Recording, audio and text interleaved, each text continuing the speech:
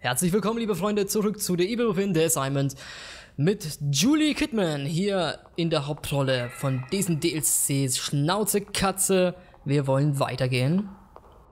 Ja.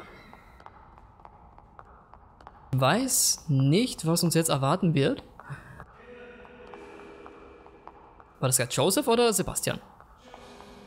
Okay, Sebastian war das. Komm schon. Das ist eine unsichtbare...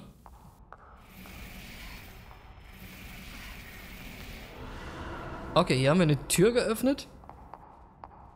Und was ist da? Ist das jetzt eine Geheimtür? Das ist ein, Rä ein Rätsel, alles klar. Also, pass auf. Muss das hier... Muss ich das alles so anscheinen? Aha. Alles klar, ich muss es, glaube ich, so verschieben. So, dass es halt das richtige Zeichen ergibt. Machen wir es mal so. Uh, nope.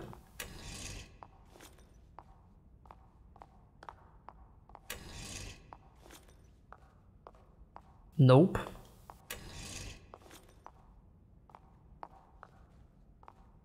Ja, hm. Das müsste auf jeden Fall gedreht werden, oder? Damit ich hier das hier ma machen kann. Perf. Okay. Wofür sind dann die anderen da? Zur Ablenkung oder was? Okay.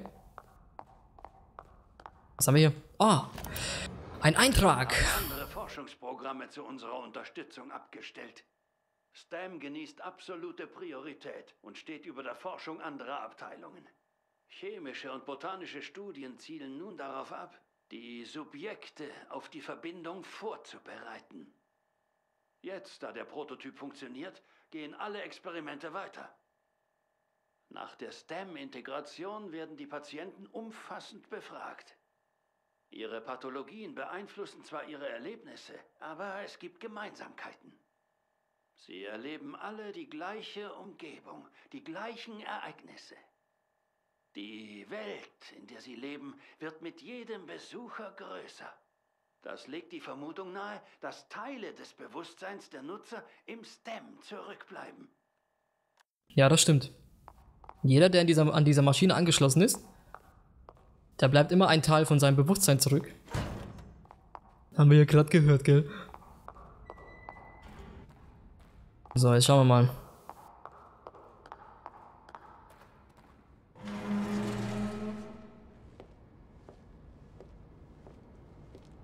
Sie lassen sich verwirren. Ich habe Sie davor gewarnt. Wo verdammt sind wir hier? Ich versteh's nicht. Was passiert hier? Ruvik weiß, dass Sie hier sind. Er ernährt sich von Ihnen. Aber es gibt wichtigere Probleme. Dieser Detective. Joseph ist kein Problem. Er hat nicht mal Verdacht geschöpft. Er ist entbehrlich. Wie deutlich muss ich werden? Beseitigen Sie ihn. Das ist ein Befehl. Joseph zu töten. Wird mir nicht helfen, Leslie zu finden. Man kann ihm nicht trauen. Er wird sich gegen Sie stellen. Wie alle, wenn Sie erfahren, wonach Sie suchen. Sie wurden gewarnt. Sie sind schwach, Kid. Und sie enttäuschen uns.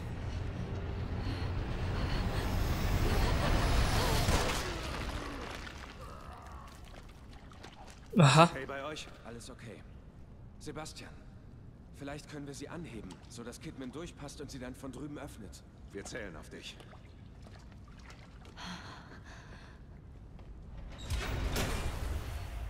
Es ist komisch. Warum würden die dich fangen und nicht töten wollen? Vielleicht sieht er mich nicht als Bedrohung. Er? Ich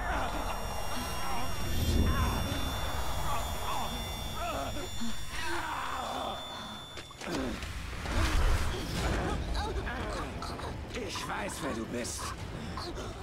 Du wirst ihn nicht bekommen. Du hättest seine Befehle befolgen sollen, Kid. What? Ja, genau. Was?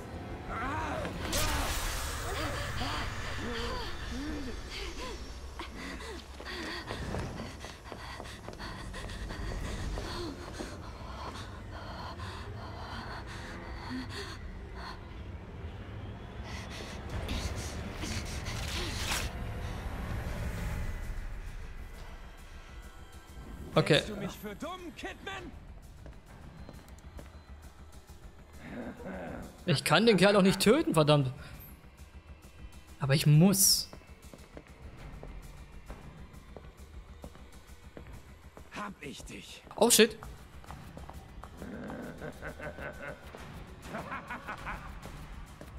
Weit kannst du nicht sein. Du siehst mich nicht. Oh shit, er hat mich wieder gesehen. Ja gut, äh, was machen wir jetzt gegen ihn? Ich habe keine Ahnung. Sieht er mich hier da hinten dran? Ja, er sieht mich, ja. Oh shit, Alter, warum ist er so schnell? Oh shit, er kann rein. Nein, er kriegt mich. Nein, du kriegst mich nicht. Geh weg. Was liegt da bitte auf dem Tisch?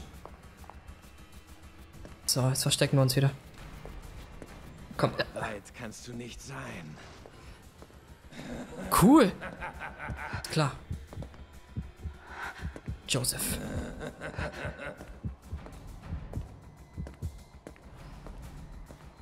Irgendwie krieg ich dich.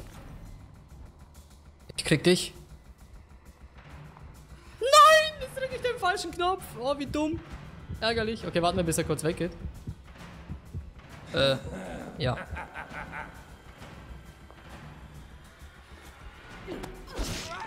Oh! Alles klar. Das hat aber ein bisschen wehgetan, oder?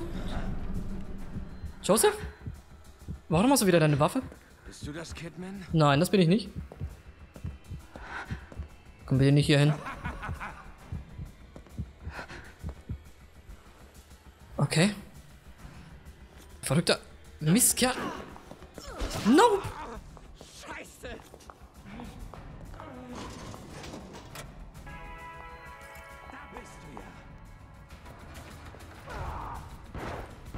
Ah, fick! Wahnsinniger Mistkerl. War eine Axt? Ja. Okay. Komm, geh doch da durch.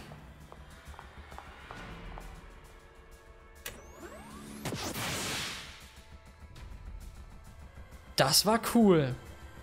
Kann ich es nochmal aktivieren? Wahrscheinlich nicht.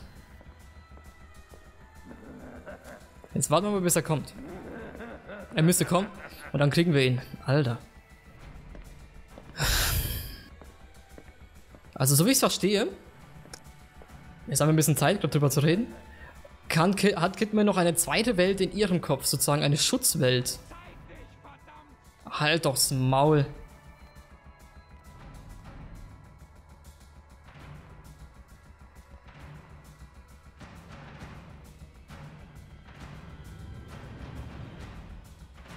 Wo ist der Affe?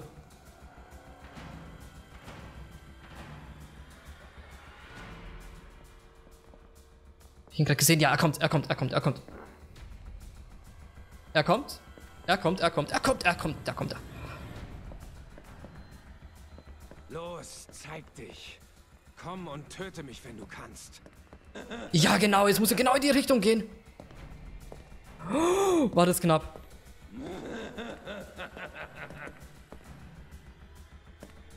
Oh oh. Du kleiner Mistkerl.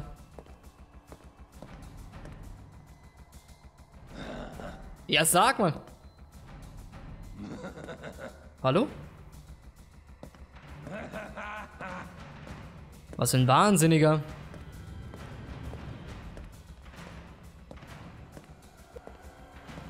Hab ich dich. Oh, oh, shit, oh, shit, oh, shit. Hör auf zu schießen.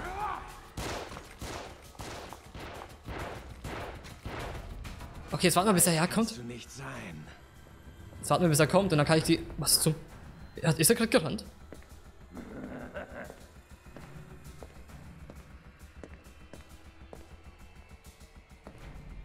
Wo bist du? Ich sehe dich nicht. Wo bist du? Da bist du ja.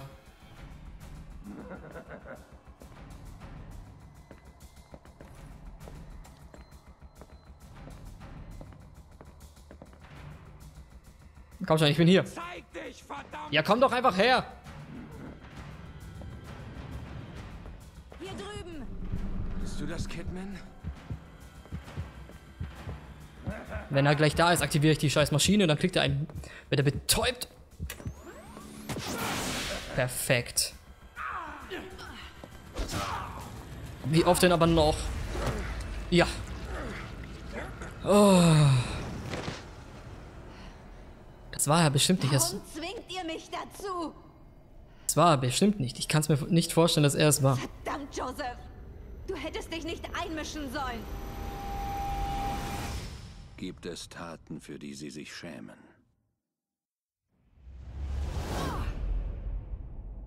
Wo sind wir jetzt? Ey, das ist ja echt eine Achterbahn. Man hat einfach keine Ahnung.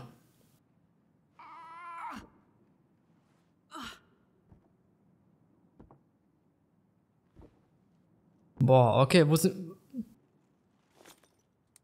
What? Boah, also Freunde, das wird langsam echt ein bisschen verwirrend. Man springt von einer Ebene... Das Haus. Nein, das kann nicht sein. Das kann nicht sein.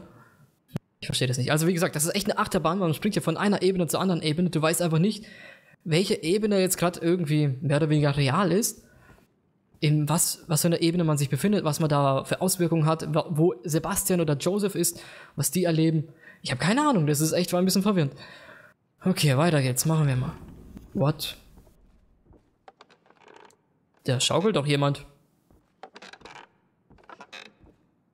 Blut.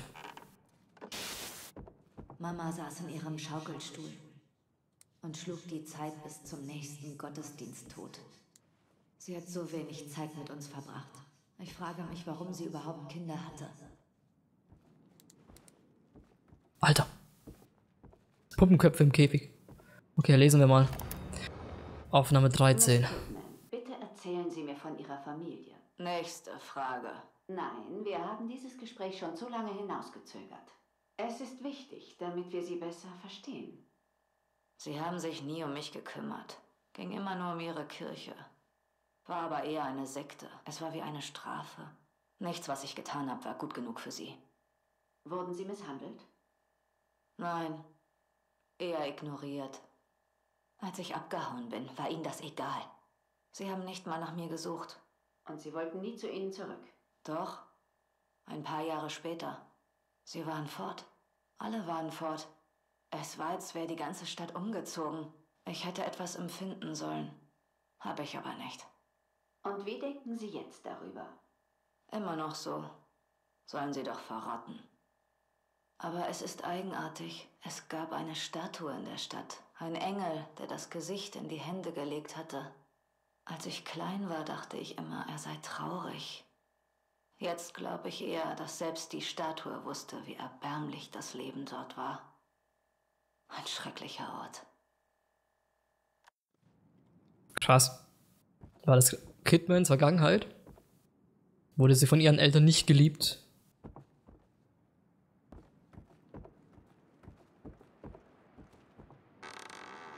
Ist sie deswegen zum Mobius geraten? Wo sind wir jetzt schon wieder? Ah, wir sind hier auf dem Marktplatz. Ja, genau. Hier sind wir mit äh, Sebastian und Joseph durchgelaufen. Und hier konnte ich nie rein. Ich wollte hier immer rein. Ich glaube, ich bin hier nie reingekommen, oder? Oder doch? Ich weiß es nicht mehr. Ah, Okay. Shit. Mit Sebastian bin ich da lang. Lass uns mal da lang laufen. Ich will gucken, was es da so gibt. Das kann sie nicht öffnen. dass es ja nichts gibt. Ich kann das gar nicht glauben. Leslie! Halt! What? Die Statue ist weg. Nachts schaute ich auf die Statue mitten in der Stadt. Sie schien um das vergeudete Leben an diesem Ort zu trauern.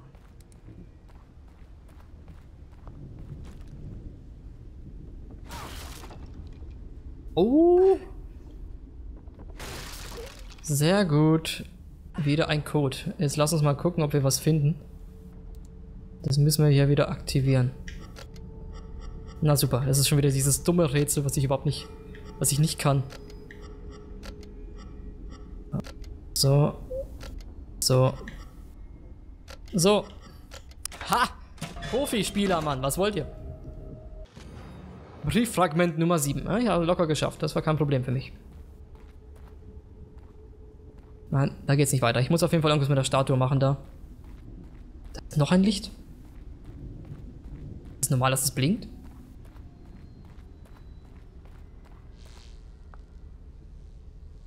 Pass mal auf.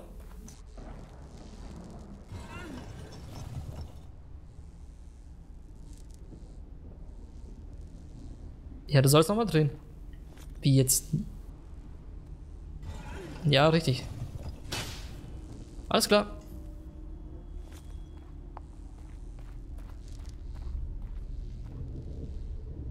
Aber was bringt das? Gehen wir mal zu diesem blinkenden Licht dort hinten. Man sieht einfach nichts, Leute. Wenn es euch zu dunkel ist, müsst ihr mir das in die Kommentare schreiben. Teil meiner Vergangenheit. Stam erschafft das. Ja, du bist schuld. Okay, da sind wir hergekommen, alles klar.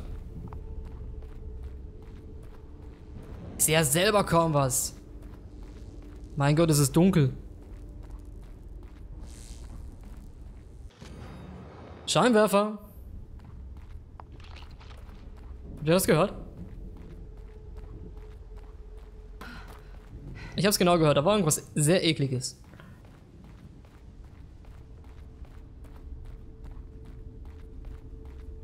Dann setzen wir das Ding ab. Aber hier ist es kaputt. Hier können wir es nicht absetzen dann. Geil.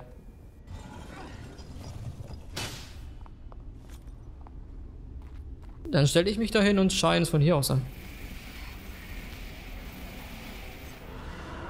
Ja. Die Tür habe ich mit Joseph gar nicht gesehen.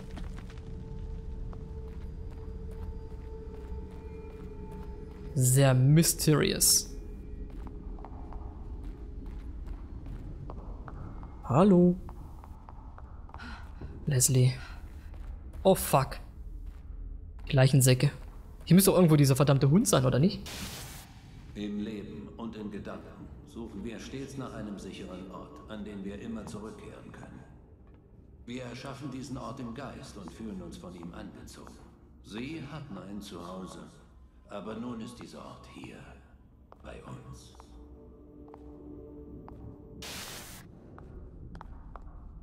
Krank. Oh, was ist das denn? Eine Maske, Alter. Hm. Noch so ein Leichensack. Flucht, ja. Lass uns da dann gehen. Ja, du sollst... Ja. Oh, da ist ein Speicherplatz.